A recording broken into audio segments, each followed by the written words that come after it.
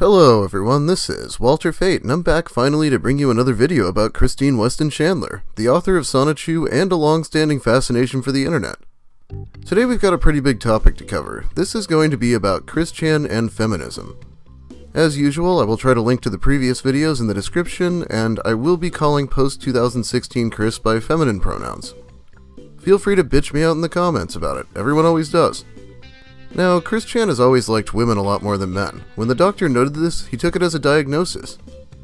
I have made a lot of friends as well over the years, mostly female, because I was diagnosed for getting along better with girls than boys.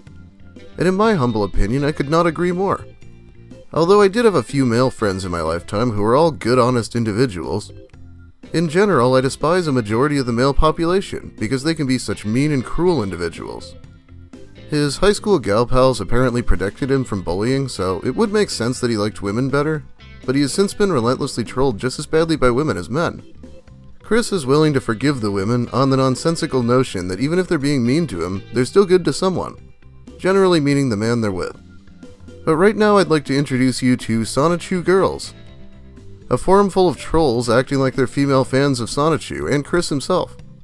Chris's introductory message here gives us a lot of information about his views on men and women.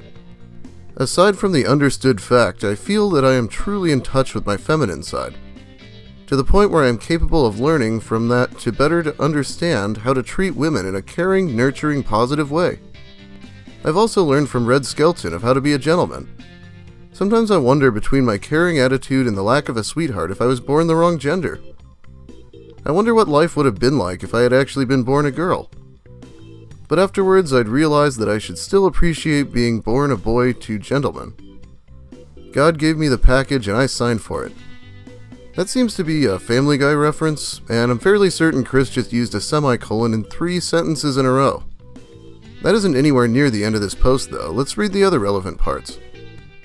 Another thing I feel I should bring up is my honest feelings to validate my being straight, although it goes without saying. I honestly feel more comfortable around women because y'all are mostly more sympathetic and caring to another's feelings. Y'all are mostly honest in your conversations, y'all are emotionally better and stronger than the majority of the male population.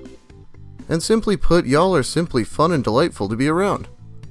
And while it is true, and I am not ashamed to admit it, that I have seen my share of porn, I have learned how to better positively treat a woman before, during, and after the act. I would definitely stay until she woke up and I would call her back later to see how her day was. And I have and would put the seat up and then back down when I used the restroom she would use later. But I digress.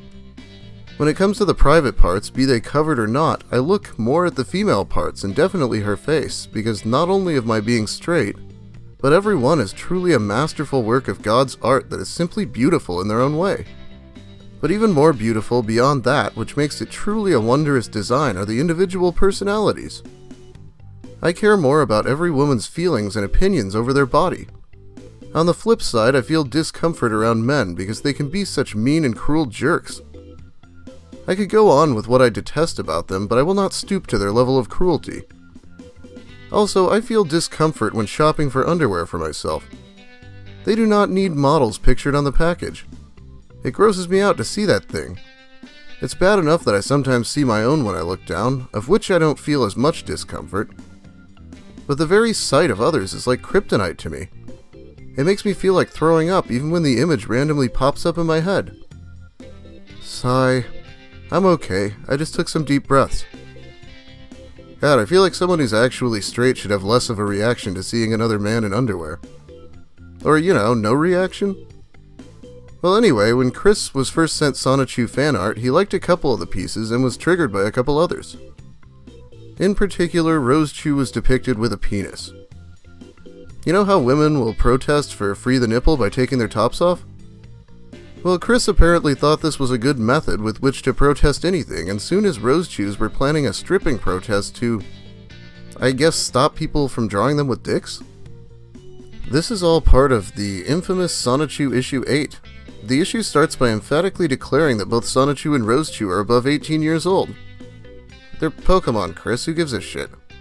Unfortunately, this is followed by a sex scene, which is followed by a scene where they're reading a web page by 4 Cent Garbage, which is Chris's parody of 4chan.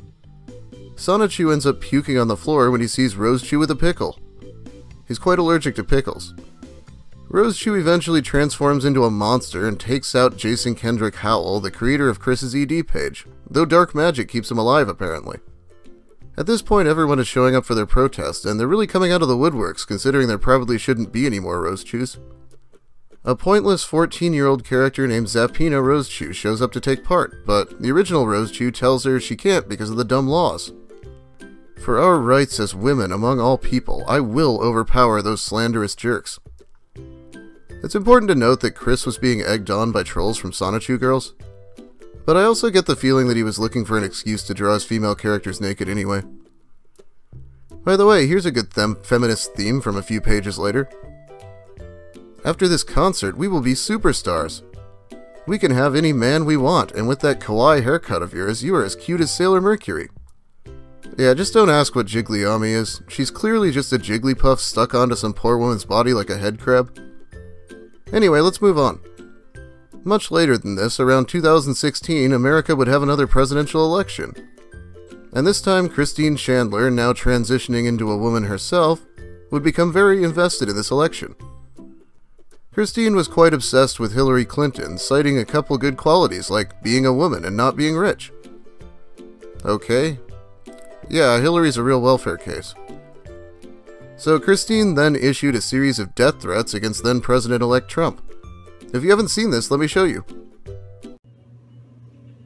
Well, Mr. Trump, or Pemert, as I like to call you in backwards spelling, because you would hurt this country definitely. I have heard you won. Therefore, I hope you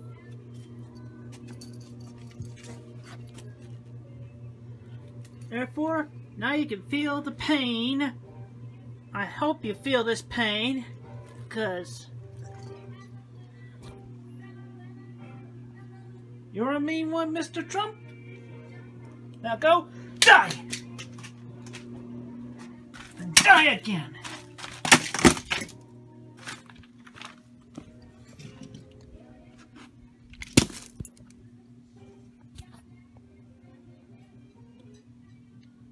Die, Trump. Die. As many of us know, Christine believes in voodoo and curses, so this is probably supposed to do something to him, much like hanging Michael Snyder, Mary Lee Walsh, and even Megan Schroeder dolls upside down is supposed to be causing them stress. Apparently Matt Groening is a big part of why Christine thinks Trump is going to destroy the country. However, this isn't about your or my politics, I'm just trying to get a better image of how Chris Chan looks at women's rights. We're winding down to the end of the video, so I'm just going to bring you some more random observations. First off, despite seeing the beauty in every girl on Sonichu Girls, Chris showed no loyalty and gave us gems like this.